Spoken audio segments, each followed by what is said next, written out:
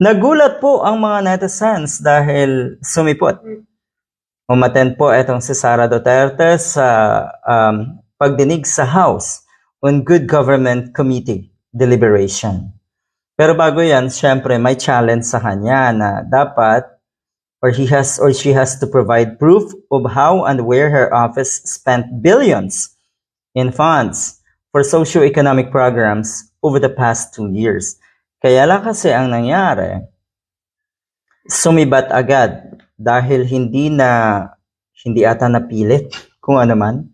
Hindi nag-take ng oath, kaya pwede talagang mag-excuse. Ayon sa rules, pwedeng mag-excuse ng mas maaga etong si Tambaloslos para makaiwas sa mga katanungan. Pero ang nakita uli ng mga netizens dito, nagpakita lang talaga yan para asarin ang mga kongresista. Sige lang po, ipagpatuloy niyo po yung ginagawa niyong yan. Yung pang-aasar, pang-iinis, nauna na kasi yung pambabastos niyo po, nauna na rin yung pagiging arrogante niyo. Ngayon, yung taktika niyo naman, na naman po na inisin, asarin, at galitin ang mga kongresista, sige lang, ay mukhang nagiging successful kayo dyan.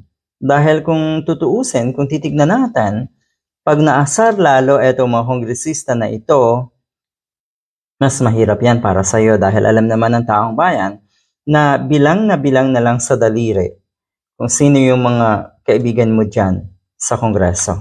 Abay, bigla na lang umalis etong hinayupak na ito. Tama ba yung term ko, hinayupak?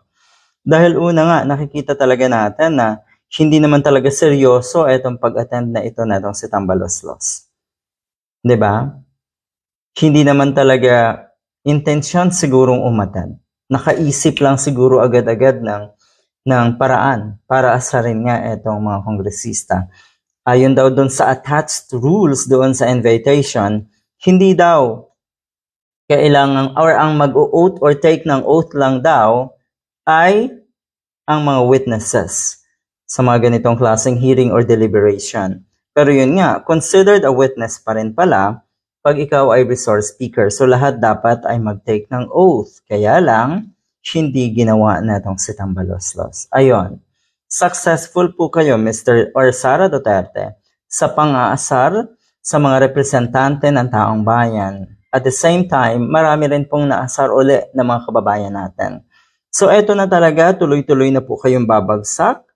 Kaya, good luck. Akala nyo nakaisa kayo, ano ho? Ang nangyari, Mukhang hindi lang kayo naisahan, naramihan kayo. Good luck!